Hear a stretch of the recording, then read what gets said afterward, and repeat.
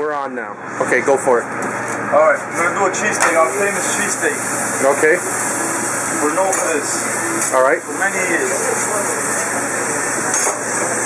Just on the ingredients, what we put on it, you guys cannot really see it, I understand. but it'll be on it. Okay.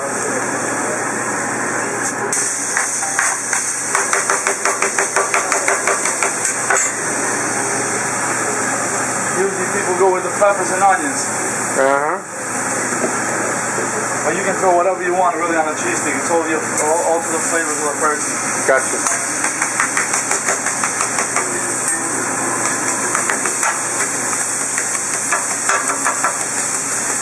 While you chop this up going all the way around it, a lot of people leave it the way it, the way it is.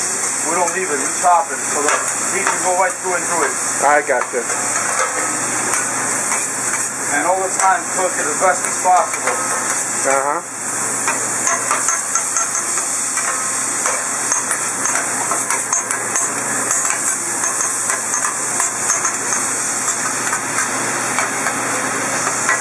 Cheesesteaks are very delicious, by the way. We go through about 10 cases, maybe 12 cases a week. Wow. Well, I think I'm gonna try one after this. Figured it out how much we go through those a day is a lot. I got you.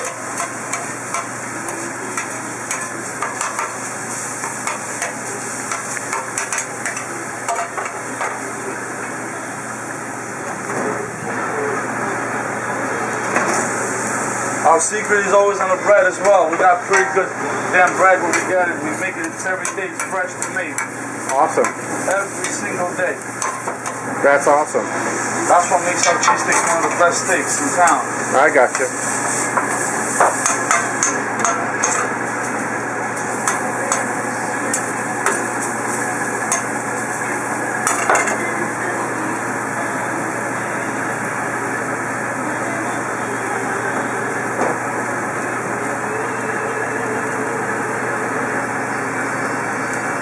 It's always a choice of what kind of cheese you want. Mm-hmm. Like I said, don't be cheap with the cheese.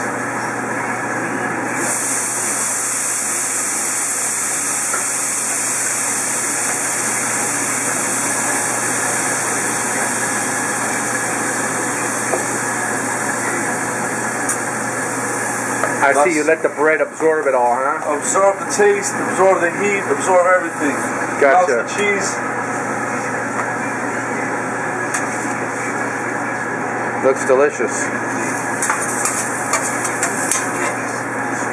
Then you got a cheesesteak bun right out of Stella's Pizza, freshly made every single time. Beautiful. Huh?